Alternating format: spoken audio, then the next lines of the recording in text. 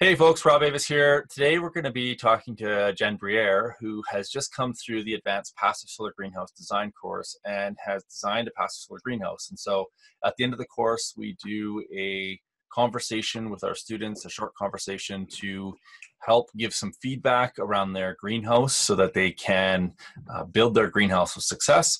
And so today we're going to look at her design and give her some pointers to improve upon it so that when she goes to build it, it is going to be an incredible success.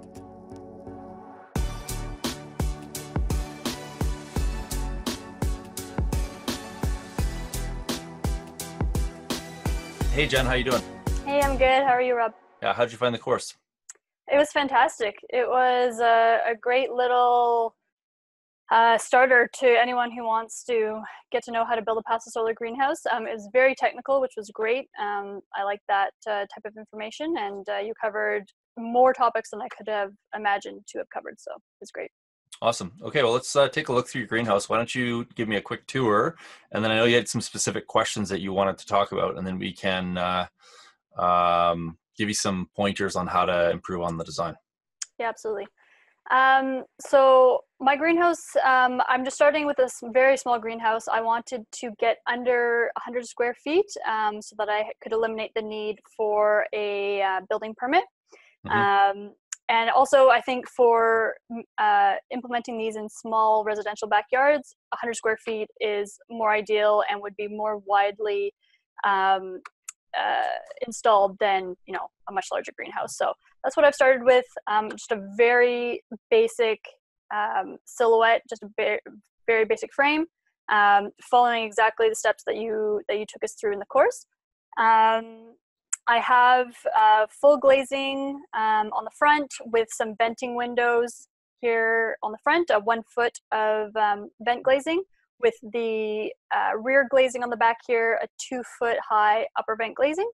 Um, and then my horizontal vents, I've got just a small one by two window um, on the west side and a two by two window where the door is located on the east side.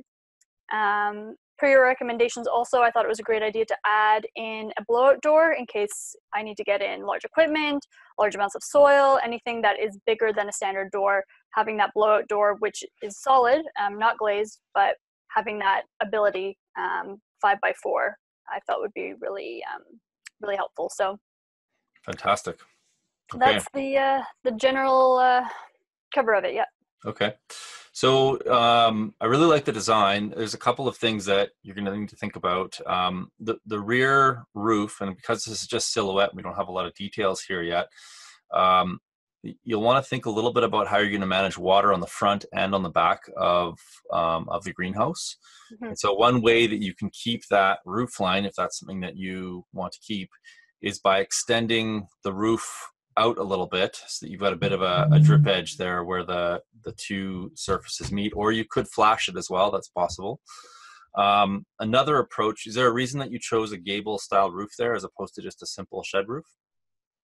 Um, I think I was just playing around with the proportions of the height, and mm-hmm. I think when I got just to a shed roof, it was either going to be too low when you're inside, mm-hmm. or to go right vertically, like vertical and meet with the angled shed portion of the glazing. Mm-hmm. It was mm-hmm. going to be incredibly tall, so it was just a means to to lower it or to to both gain height inside, but also lower the overall height.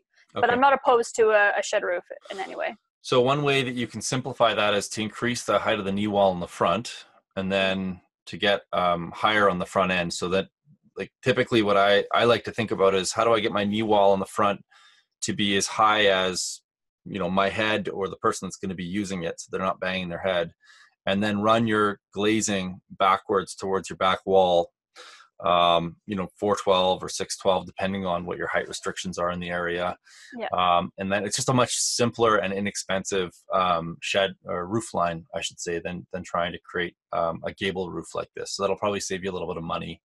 Okay. Um, and that's where those those horse shelters um, can be really effective. So if, if, anybody has horse shelters out there or builds horse shelters, yeah. a horse shelter manufacturer, again, c- coming back to kind of where your business is going, um, would be a great group of people to collaborate with in terms of um, building these for you if you're going to actually plant these into people's backyards.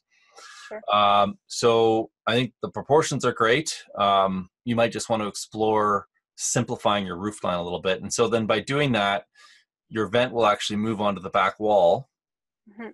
as opposed to on the roof. And so now you don't have a perforation in your, your rear roof, which is going to, again, help with your water management.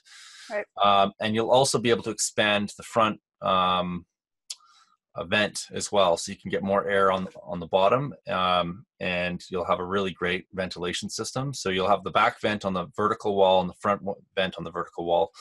The um, the back glazing, if it isn't ending up on the vertical wall, can just be. They don't have to be windows if you don't want. You can have them as you can make your own uh, vent panels that are insulated, Mhm. so that they're losing less energy. Um, the blowout door is fantastic. I think that's great. You should have that in, in all of your designs, and same with the door. That's fantastic. Um, yeah, I think I think this like this overall concept that you've presented, which is essentially building uh, greenhouses that don't need building permits, is ostensibly just sheds, is a fantastic idea. And um, you know, with all, the new legislation in Canada around uh, medicinal marijuana and people wanting to start taking a little bit more control over their food, um, having the ability to mass manufacture sheds essentially that have some passive solar greenhouse features in it, I think is a great idea. Cool. Thanks. Um, did you have any other sheets on here that you wanted to to share? So I had um, there are just some elevations here that kind of show different Yep. angles and the the venting.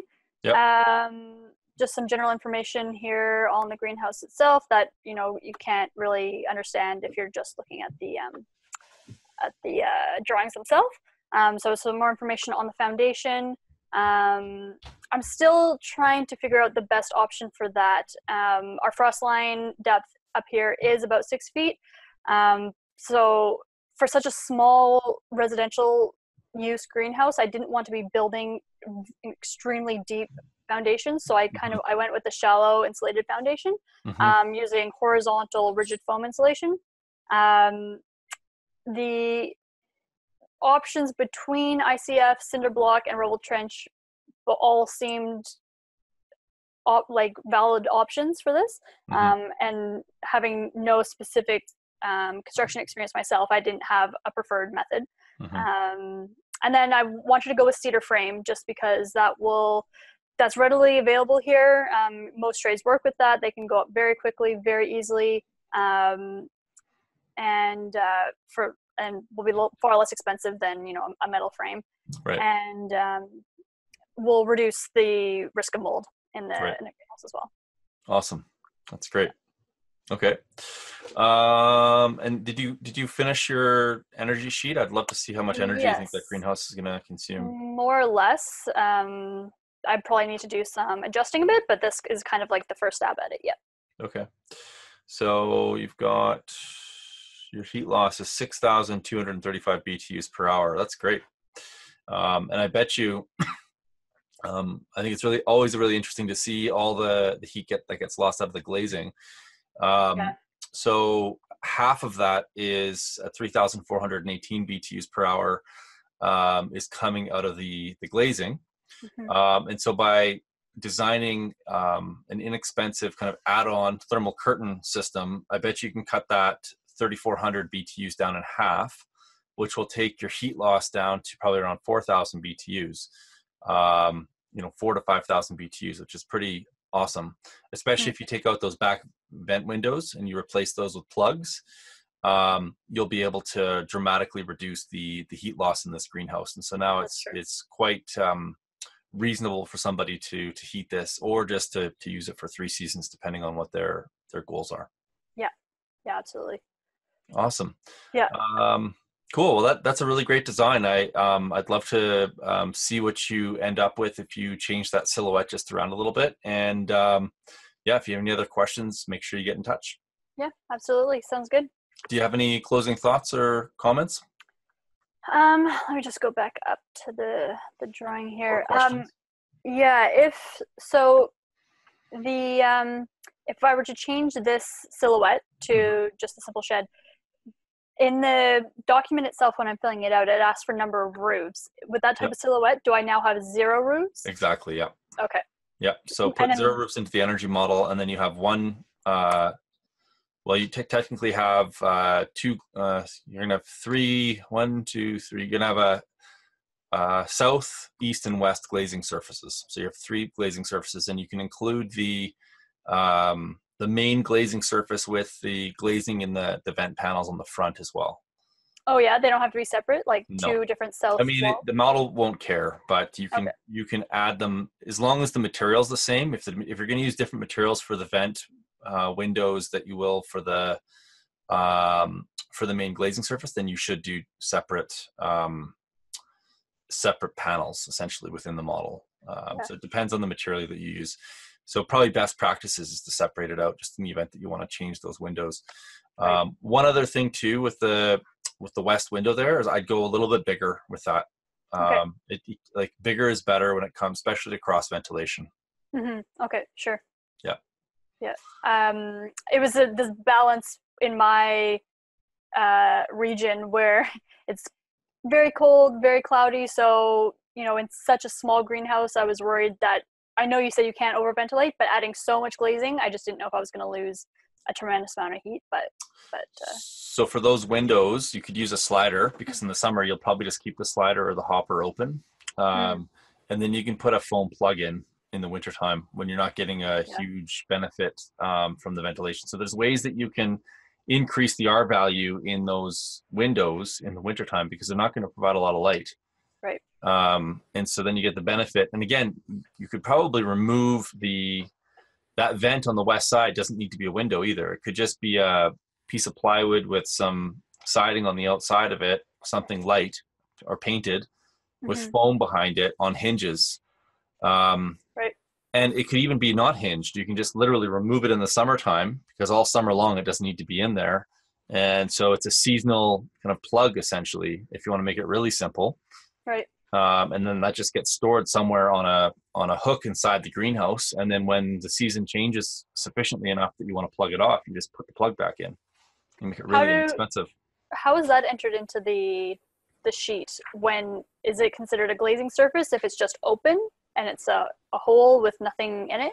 Well, so the the sheet, all the sheet's trying to do is calculate heat loss. And so if the plug was built properly, then you would just not have a glazing surface on the on the west side. Because you're basically imagining that in the so what the what the sheet's trying to do is trying to figure out your peak heat loss and your annual fuel consumption. hmm And so that plug, in my mind, would be removed as soon as the heating season's gone. So we don't have to worry about it in terms of the the model. Okay, Okay. Yeah. Awesome. perfect. That sounds good. Okay, thanks, Jen. So, if folks are interested in learning more about the Passive Solar Greenhouse Design course, I'll leave a link to the show notes below. We also have a free 30 minute introduction to Passive Solar Greenhouse Design, which you can take, and I'll put that link in the show notes below as well. If you found this video useful, uh, please give us a like and uh, say, uh, hit the subscribe button if you want to be notified when we put additional videos like this onto our channel. Thanks so much, guys. I look forward to seeing you guys in the next video.